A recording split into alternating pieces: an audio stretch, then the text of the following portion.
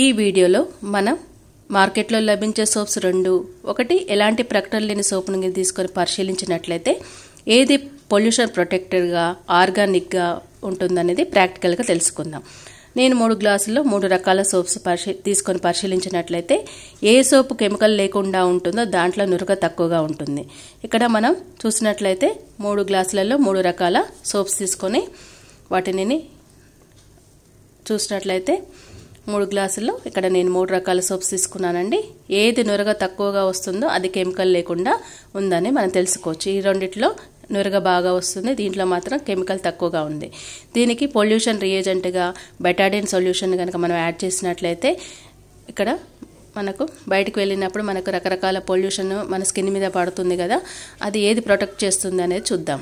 ఇక్కడ దీన్ని పసుపు తీసుకొని యాంటీసెప్టిక్ కదండి.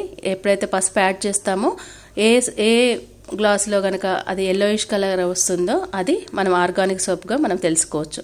ఇప్పుడు మూడు రకాల మూడు గ్లాసుల్లో నేను సోప్ పసుపు యాడ్ చేశాను. చూడండి ఇక్కడ ఎంత కలర్ చేంజ్ అయిందో. ఇక్కడ చూడండి లైట్ కలర్ వచ్చింది. ఇక్కడ మనం పర్సోనా సోప్ చూసినట్లయితే ఇది చూడండి ఎంత ఎల్లోయిష్ కలర్లో వచ్చిందో. దీన్ని బట్టి ఏది ఆర్గానిక్ అనేది మనం క్లియర్గా తెలుసుకోవచ్చు.